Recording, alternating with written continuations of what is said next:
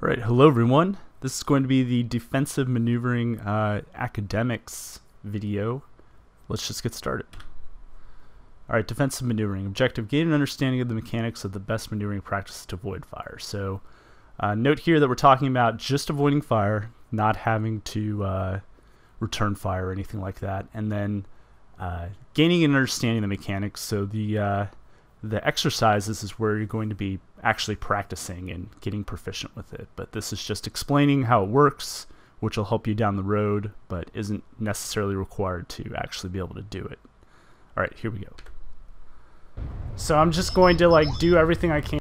So this is uh, my organ eye practicing uh, something we were calling it trial by fire, where we just have a bunch of people gang up on someone, and all they do is try to evade. They don't try to return fire. So in this case, I had uh, four people uh, trying to kill me in our practice session, and this is how it went. And to not get hit by you guys. Ready? Set. Yep. Ready. Go.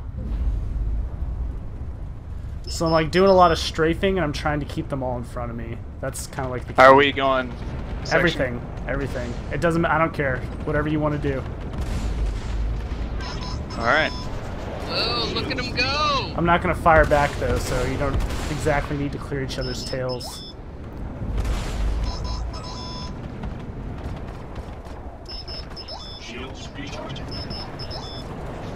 I just took a hit. Friendly fire. Friendly fire. I guess that's kind of a strategy, right? I'm totally doing that on purpose. Alright. Oh.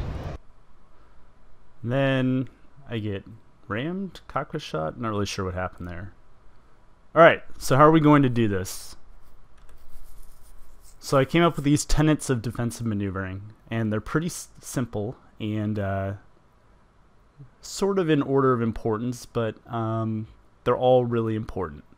And if you, for example, this isn't going to matter if you don't maintain situational awareness. So they kind of all depend on each other. Uh, so I wouldn't, I would try to worry about as many of them as you can at all times. So constantly shift velocity vector in all planes of motion, maintain true speed, which is the magnitude of velocity. So uh, minimize your ship's profile and maintain situational awareness. All right. So we're going to talk about each one of these in time, in uh, in turn.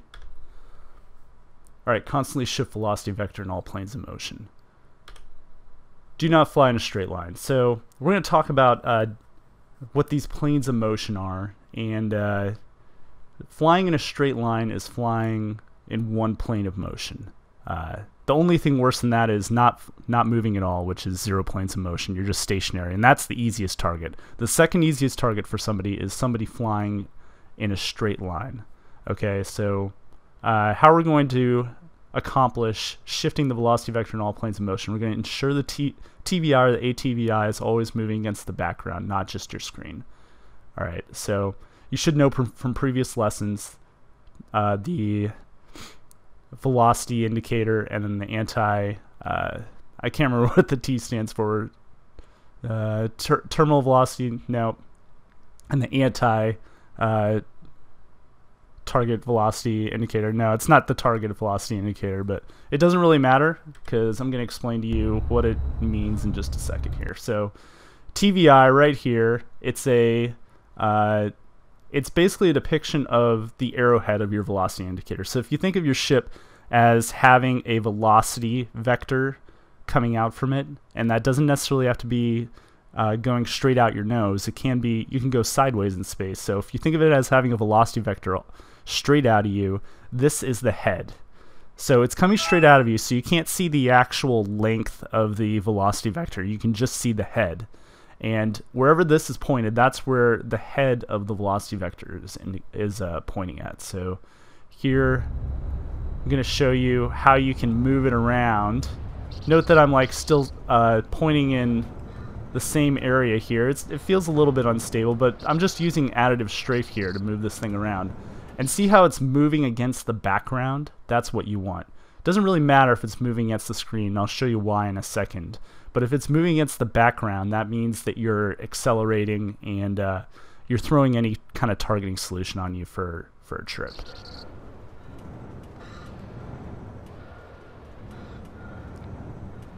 So yeah, you can move it around all like that, and that's going to make it really hard for people to hit you. Alright, so here's another way to move your TVI around, is instead of using additive strafe here, I'm just using pitch and yaw.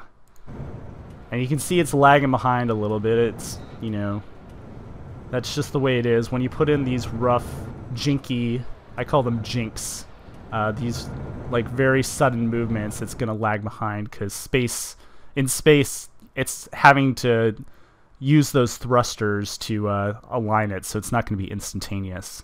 Uh, so that is also um, moving the TVI against the background, just like we said. Uh, it's just not that stable. All right, so here's an example of not doing that and moving in a straight line. I'll show you real quick. So notice I decoupled here.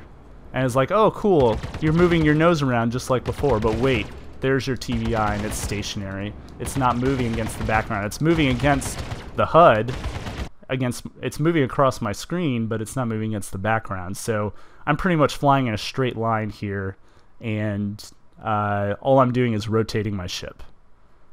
Alright. Which uh, leads me to my next point and some of you might not like this. The Starbuck maneuver actually sucks.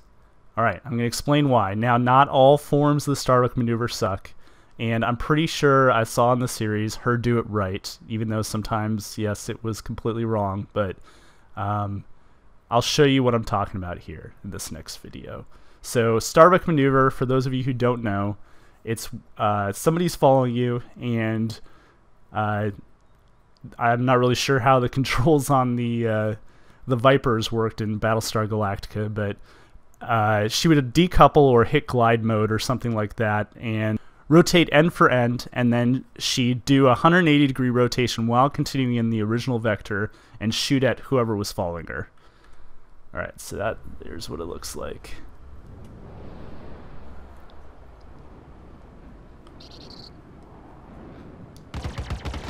And that's it right there.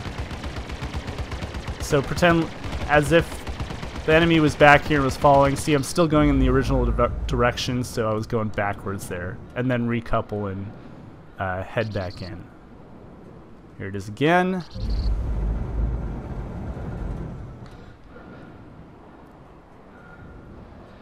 So pretty much instantaneous turns for 180 degrees.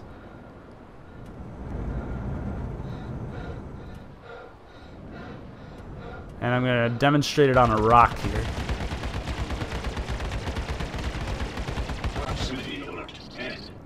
Alright, so this is what I see so many people do in Arena Commander. Is they'll they'll boom in on their target, they'll pass their target, showing their butt to their target, and then as soon as they get past, they'll decouple turn and then go straight back for it. Like that. I see that so much in Arena Commander. And that's that's jousting, just in case you didn't know. That's what people complain about with jousting. Alright.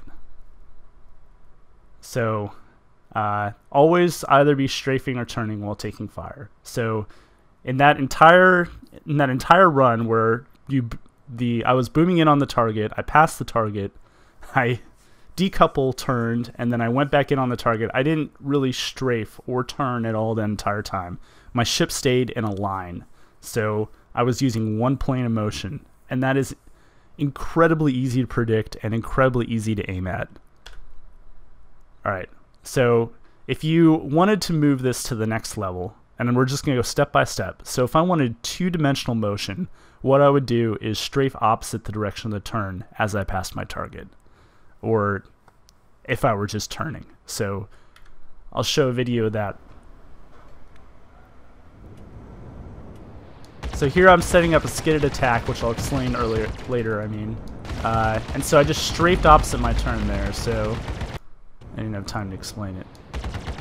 So I'm yawing right and I'm strafing left here, and that's going to swing out my turn and make it into kind of a plane. And this also is what people use to set up a circle strafe, or an orbit as I like to call it. See how I'm like strafing left?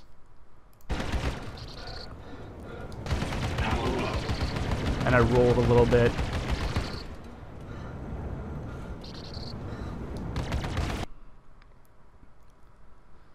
So that's how you turn your one-dimensional boom and zoom uh, and then re-attack into two dimensions.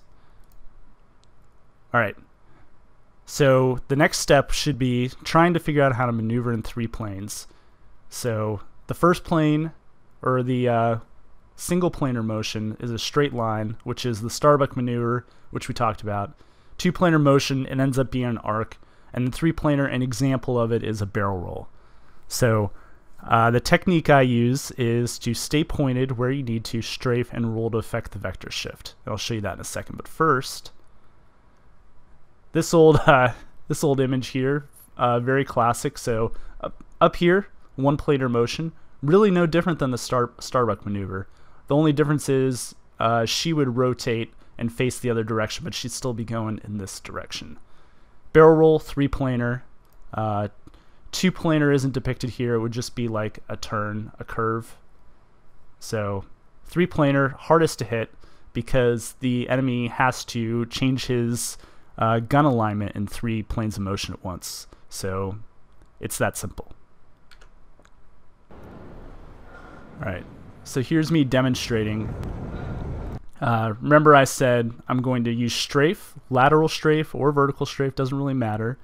And I'm going to uh, use roll to affect the vector shift. And I'm going to tell that I have vector shift by looking at my TVI.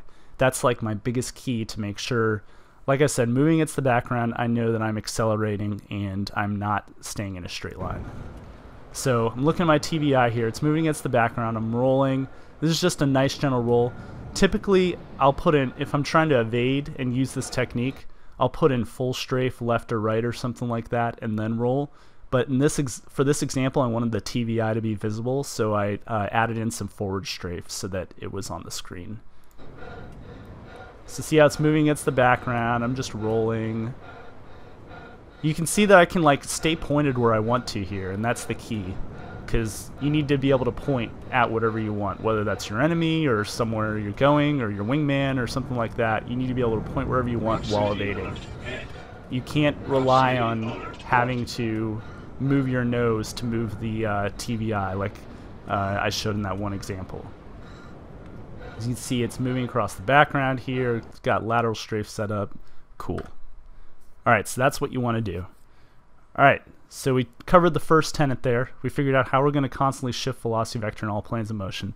Like I said, the best way is to use lateral or vertical strafe and roll as required. All right. Maintain true speed. So here we go.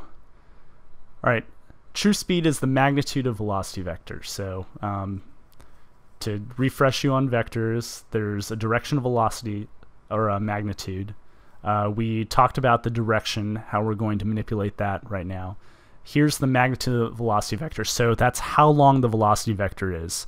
And for uh, it corresponds to your true speed. So if you're going forward at 200 meters per second, then your magnitude is 200. If you're going left to 200 meters per second, your magnitude is 200. It's that simple. All right. Currently no true velocity indicator. So this this is the one people have the most trouble with because right now the HUD doesn't have a true velocity indicator. It only shows uh, speed in the forward direction. And since lots of people like to go sideways, upward, downward, whatever, uh, that can kind of it won't give you an accurate uh, sense of how fast you're going. But we're going to talk about some techniques here. One of them is never strafe in the same direction that the dust is moving. So, like I was saying, you got to kind of uh, feel how fast you're going, and the way to do that is by using the dust, the dust particles in space, and I'll show that uh, in a second. But if you think about it, if you if you strafe in the same direction, you're pretty much strafing against your previous velocity, which is what's going to cause you to slow down so that your magnitude of your velocity vector isn't as high as it possibly could be.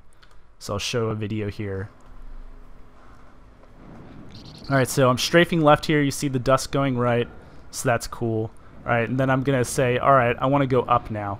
Up isn't against the dust, so that's fine. As long as it's no more than like perpendicular, you can see my TVI up here. All right, so now the dust is kind of flowing this way. And so now I'm at a 90 degree angle, so if I wanted to strafe right now, now I could strafe right a little bit more. So the key is to try not to initiate changes more than 90 degrees off from the direction you're already going. And that's going to keep you at your max speed. Note how my, my forward velocity indicator is indicating like 50 or something, but really I'm pretty sure at this point I've got my full 240 meters per second. Because uh, this is only in the forward direction, so it's important to keep that in mind that this is inaccurate. Alright, so that was an example of doing it the wrong way.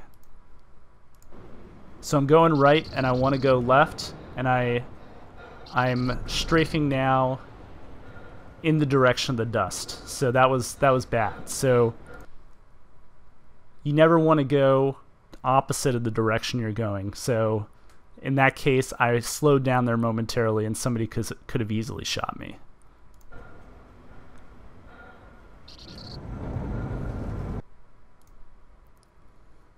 Alright, so technique, strafe in opposite direction of turns, especially with com stab or decoupled. Hey, it's the same one as uh, with the uh, previous tenant.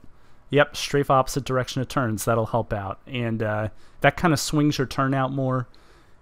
Uh, I did some testing and I uploaded a video. It was the pr video previous to this of me testing out the turns with com stab, no com stab, decoupled, and then all three of those with boost. Tested them a bunch of times. Wasn't exactly scientific, but the biggest takeaway I got from it was that your turns in com stab or with no com stab, they uh, in terms of time to shift your velocity vector, they're pretty much equivalent. I mean, the difference is fairly negligible, less, you know, less than maybe like 10%. But uh, what I what I want to focus on is whatever you choose to use and whatever's best for your ship. Try to uh, make make it so that you have all your options available to you. So if you're flying around with comstab mode, you know that you're not going to have drift. If you want to keep drift so that you can keep your speed on, then strafe in opposite direction of turns like I showed. If you're yawing right, strafe left, especially if you're taking fire so that you can keep your speed up. Otherwise, it's going to slow you down too much. All right, cool. Maintain true speed done. Uh, next tenet, minimize your ship's profile. This one's pretty simple. All right, so you're going to orient your ship so that the least surface area is exposed to fire as possible. So I'll show you that real quick. All right, so different profiles and this is pretty easy to figure out what I'm talking about here. So like you can see here the, uh, the Avenger uh, Jacob lines pointed straight at me, so he's got a fairly low target profile here, which means the area that his ship is taking up on my screen. I mean, he's really close, so that it kind of looks bigger than it would normally, but uh, the area that he's taking up on my screen is smaller, which means he'd be harder to hit with projectiles because projectiles could go here or go here or go here or go here as opposed to this one. Uh, you see toothbrush here. He's almost completely perpendicular to me uh, with his uh, top section exposed to me. So he's got a high profile here. So it'd be much easier more surface area on my screen more real estate to hit uh, with any kind of weaponry so uh, this is a high profile that's not what you want right, you can see here another one. Uh, this is a side view. You can see also pretty low profile, almost as low as uh, front facing, but not quite as low. Uh, now, this is going to depend on your ship. So, uh, right now, most ships have smaller profiles when you're uh, pointed straight at them, or when they're pointed straight at you, sorry. Um, some exceptions in the future might be stuff like the Xi'an Scout. Uh, the Delta it's kind of got the same profile in every direction, except for top or bottom is a little bit more, but side versus forward, there's really not much different. It's got insanely small profile and is very hard to hit. Oh, I don't think I wanted to go there. There we go. Okay, so technique, stay pointed at the target. Yep, that's going to work um, for a lot of reasons. So you stay pointed at your target and you're minimizing your ship profile, and it's a lot easier to keep track of them so you can continue to minimize your ship profile. All right, another technique, use radar target pin, rotate it so that it's off to the right or left side of the screen.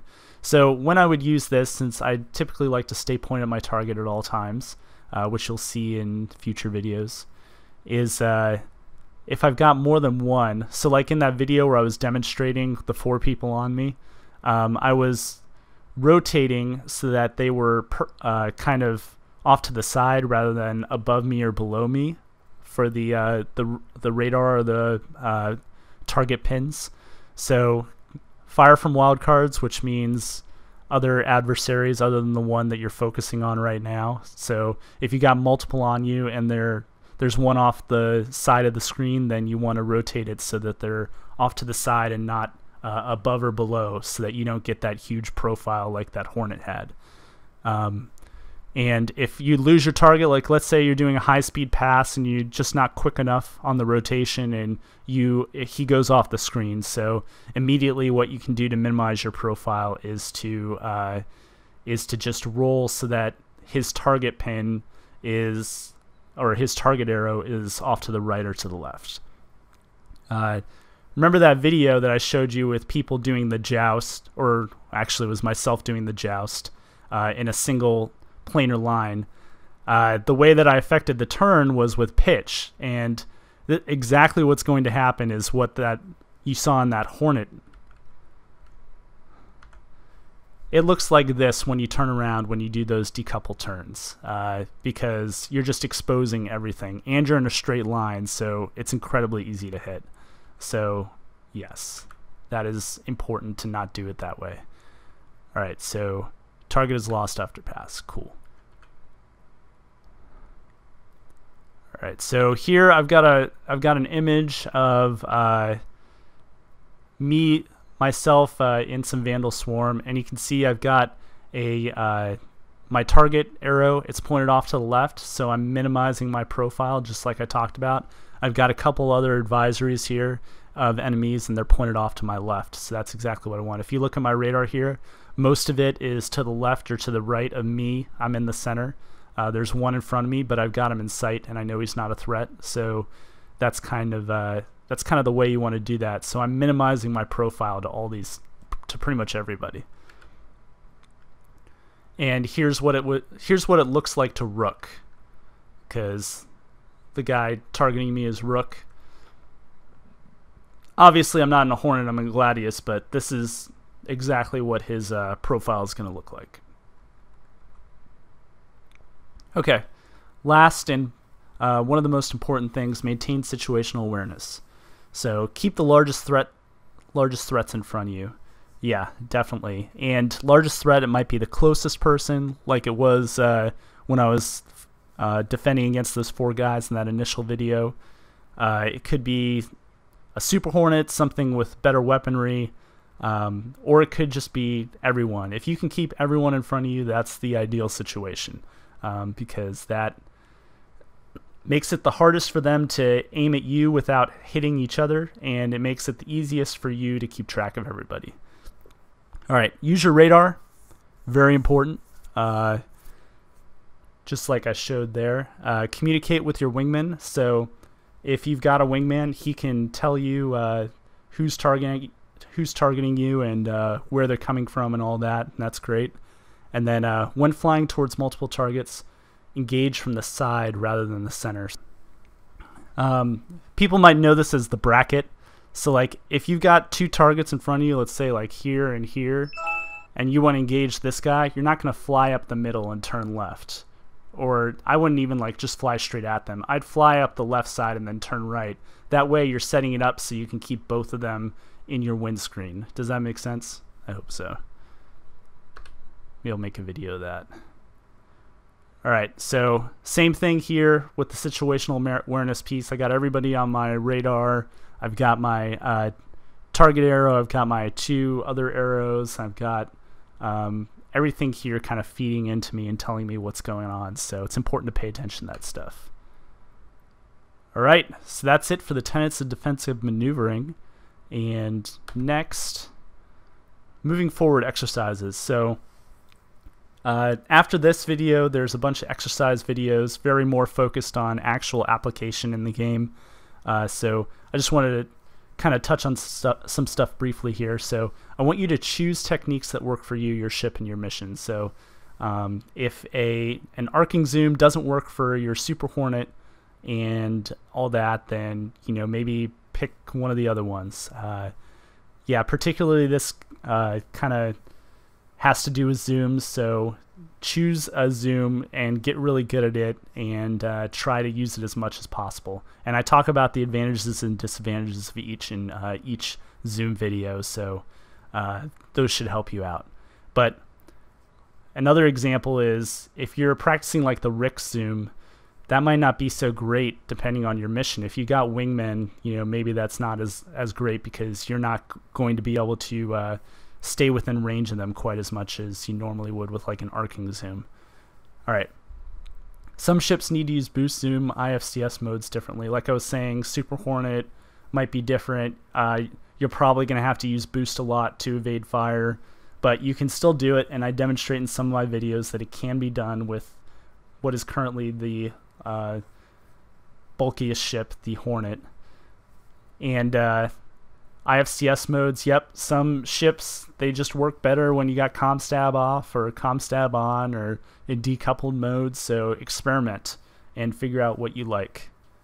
Practice mechanics in free flight, then find a partner to play trial by fire with, like I was in that first video. That is definitely going to help you out. So use some asteroids, practice your uh, defensive maneuverings, get the mechanics and the muscle memory down, then find someone to shoot at you while you try to evade and uh, have him tell you, you know, it's like, hey, when you did that loop thing, that really worked, and then my lag pip went crazy and I couldn't target you. That kind of stuff. Help each other out. Above all else, keep strafing and rolling. Uh, so that's I that it's pretty much as simple as that. If you are always strafing and always rolling and always watching your speed, uh, you're going to be able to evade most fire. Doesn't matter what kind of ship you're at. All right, and that's it. So uh, thanks for watching, everybody. Hopefully, this helps some of you, and I'll see you later.